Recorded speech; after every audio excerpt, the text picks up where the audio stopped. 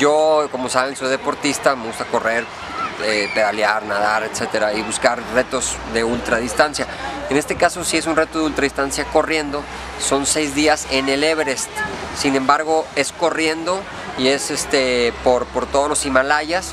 No es para hacer cumbre, te digo, esa sería otra disciplina distinta, con otra preparación y todo. Entonces, eh, aquí es una, una carrera de seis etapas, o sea, es decir, seis días eh, corriendo por diferentes lugares de los Himalayas, incluido el Everest. ¿okay? Este, con un ascenso, lo, difícil ahí, lo interesante, y para lo que me estoy preparando muchísimo, son los 29 mil metros de ascenso acumulado que hay.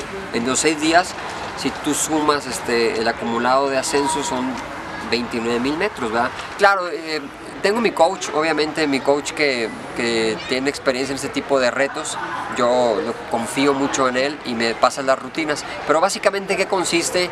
Pues acumular de 16 a 18 horas eh, a la semana de entrenamiento, incluidos este, ascensos, mucho trabajo de fortalecimiento de piernas, em, eh, ir a trabajar a las montañas que tenemos aquí alrededor y también tengo un simulador de altura que es donde yo me conecto, este, una rutina de una hora diaria para poder simular eh, la altura que no nos dan nuestras montañas que están aquí alrededor, 6, 7 mil metros más o menos, que es lo que puedo yo simular que estoy este, en esos lugares. Y pues aquí corro por todas las, por la región de la sierra.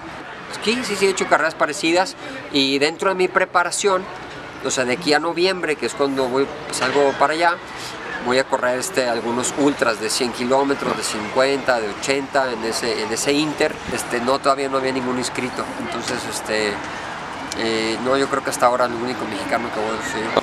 Me empecé a meter en el mundo de la bicicleta de montaña, después me empecé a meter al mundo de la escalada deportiva en roca y luego empecé a meter al mundo de la bicicleta de ruta y luego los triatlones y luego nadar aguas abiertas. Y así me he ido una cosa con otra y siempre queriendo hacer más cosas, va Ultraman, Ironman, este fui al desierto del Sahara también a competir en bicicleta de montaña, he ido a Costa Rica, he ido a muchos lados